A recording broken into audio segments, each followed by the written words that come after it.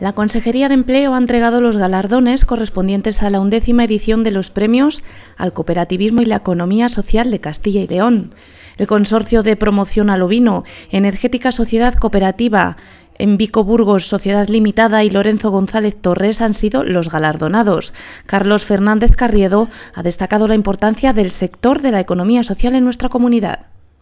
Estamos hablando ya de 4.000 empresas trabajando en el mundo de la economía social,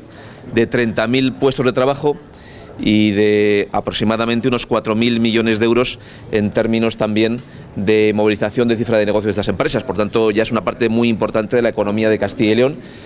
El consejero de Empleo también ha avanzado que su consejería impulsará nuevas medidas de apoyo a las empresas de inserción puestas en marcha en 2017. Empleo destinará más de medio millón de euros en 2018 para impulsar su desarrollo